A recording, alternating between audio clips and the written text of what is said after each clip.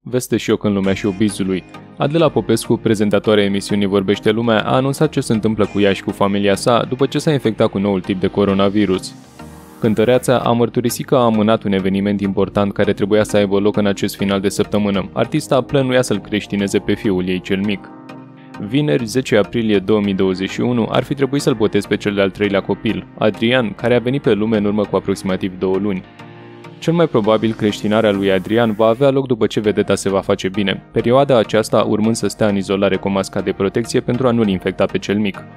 Ceilalți doi băieți mai mari, Alexandru și Andrei, locuiesc perioada aceasta cu bunicii, în timp ce emisiunea de la ProTV va continua fără frumoasa blondă.